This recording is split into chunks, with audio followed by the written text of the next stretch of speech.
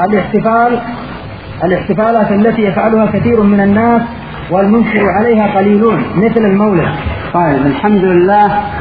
صلى الله وسلم على نبينا محمد وعلى آله وصحبه.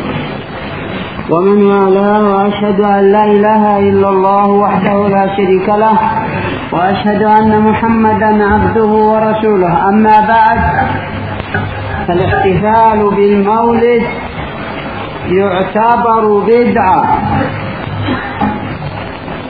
ولم يأتي حديث ولا آية في كتاب الله.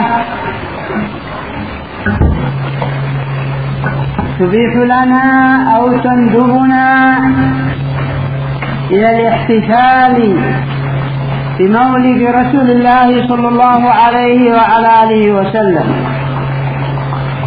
ولم يفعله النبي صلى الله عليه وعلى آله وسلم ولا الصحابة ولا التابعون.